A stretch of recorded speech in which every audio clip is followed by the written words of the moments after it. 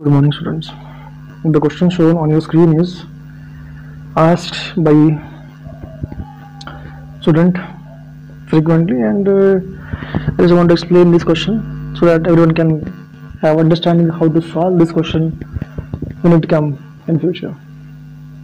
The question says that there is a, a condition in which uh, nitrogen gas became soluble in our blood ठीक है at a pressure of 0.8 atmosphere and the temperature of 37 degree celsius and uh, at that time the solubility is 0, 5.6 and 10 power minus 4 moles per liter fine now there is a situation there is a situation in which a deep sea diver uh, has gone towards depth some deep sea level in which he has nitrogen gas compressed to 4 atmosphere Up to 4 atmosphere that is 4 atmosphere you can change it now assume that now assume that the total volume of blood in the body is 5 liter and uh, now the examiner want you to calculate about the amount of N2 gas released ठीक है जैसे it's very obvious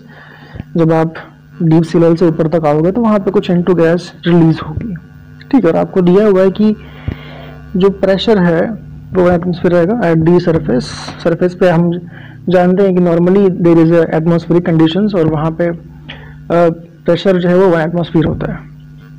And we are given that the temperature is thirty seven degree celsius okay so this was the question ठीक है, एक बार आप समझ जाओ, पढ़ लो उसको, ठीक है पॉज करके. लेट्स सी इट्स सॉल्यूशन ठीक है. Okay we have to first of all look what's given into the question as it's very obvious you can see कि सोलिबिलिटी आपको दे रखी है। ठीक है, जो क्या उसकी वैल्यू है? The value of solubility is five point six and into ten power ten power minus four moles per litre okay now if you can quickly recall this Henry's law आप लोग हेनरी लॉ को याद करिए।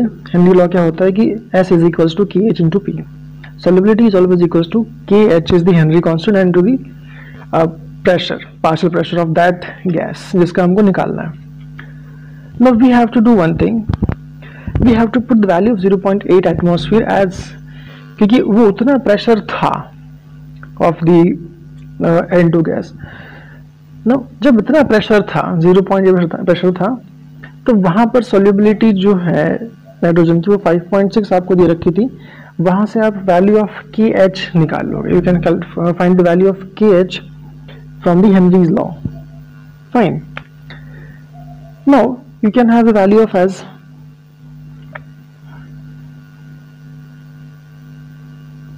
you can have the value of K H as seven into ten power minus four mol per litre atmosphere fine no when you find the value of K H we have to also see the second condition मतलब आपको दिया हुआ है कि सी driver जो है वो सी level में डीप जा रहा है और उसका वहाँ पर प्रेशर जो है वो फोर एटमोसफियर हो जाता है। ठीक है?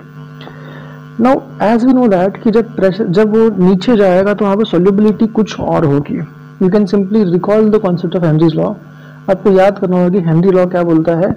इट सेज दैट कि जितना ज़्यादा प्रेशर होगा, उतना वहाँ पे सोल्यूबिलिटी ज़्यादा होगी। ठीक है? As much high the pressure that much more there is solubility. Fine. So you will again apply the Henry's law for the lower lower uh, level of C जहाँ पे C के आप अंदर जाओगे वहाँ पे आप दोबारा से सोलिबिलिटी को निकालोगे इस फॉर्मूले से जहाँ पे S इज़ इक्वल्स टू क्या होगा? S is equals to seven into ten power minus four into four atmosphere हो जाएगा। ठीक है उतना प्रेशर होगा। नाइट्रोजन का। यहाँ से हमको मिल जाता है कि सोलिबिलिटी जो है वो twenty eight into ten power minus four होगी। You got the value of solubility at the bottom of the level sea level. Now, अगर आप ध्यान से इसको देखें तो थोड़ा डिफरेंस है सोलिबिलिटी में जो सी के डीप लेवल में थी और सोलिबिलिटी जो सरफेस पे थी वहाँ पे। दोनों में थोड़ा डिफरेंस होगा। तो that difference we have to find उसको निकालेंगे। तो जो चेंज होगा सोलिबिलिटी में वो होगा 28 एट इंटू ट्वेंटी में से माइनस कर देंगे 5.6 को। 5 पॉइंट जैसे हमको क्वेश्चन में गिवन था और ट्वेंटी हमने निकाला है सॉल्व करके। कैसे निकाला हमने? तो हमने पहले के निकाला, फिर वहाँ से हमने ट्वेंटी निकाला। इसका डिफरेंस जो है वो मिल गया आपको twenty two point four ten power minus four moles per litre ना ये डिफरेंस जो है, ये मोल्स पर लीटर के लिए है बट हमको पूरा वॉल्यूम दे रखा है फाइव लीटर्स का। ठीक है?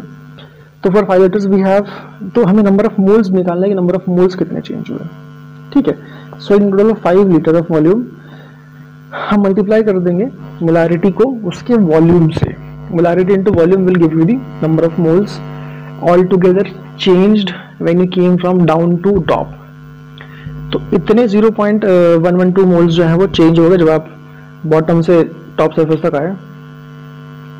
बस आपको नंबर ऑफ़ मोल मिल चुके हैं, इसके बाद आप लॉ अप्लाई कर दो, जो the law which is called as the ideal gas law उसको अप्लाई कर दो आप, जैसे कि हो गया आपका पीवी एक पीवी क्वेश्चनिटी अब यहाँ से आपको सिर्फ़ वॉल्यूम निकालना है कि वॉल्यूम कितना होगा। Now if you can find this volume what this will tell you ये क्या देगा आपको? तो क्योंकि एन क्या था? जो 0.112 वैल्यू थी वो क्या थी? आपके लिए नंबर ऑफ़ मोल्स में कितना चेंज था वो था। Now this value will give you the volume volume में चेंज कितना आया। कितना वॉल्यूम बदल जाएगा उसका।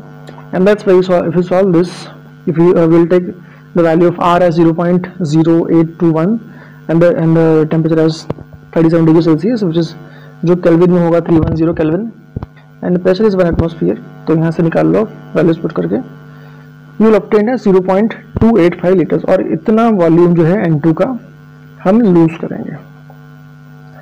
I hope it helps thank you so much have a nice day bye